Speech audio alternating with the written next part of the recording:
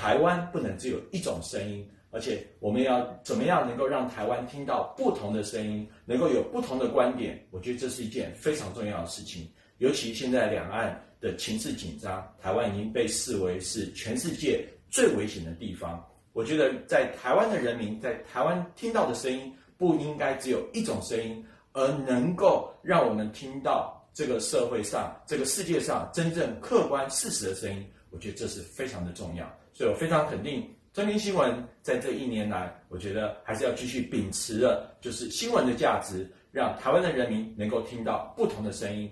在此再一次的啊，就是庆祝中天新闻转成网络平台一周年，那也希望能够持续的为新闻价值而努力发展。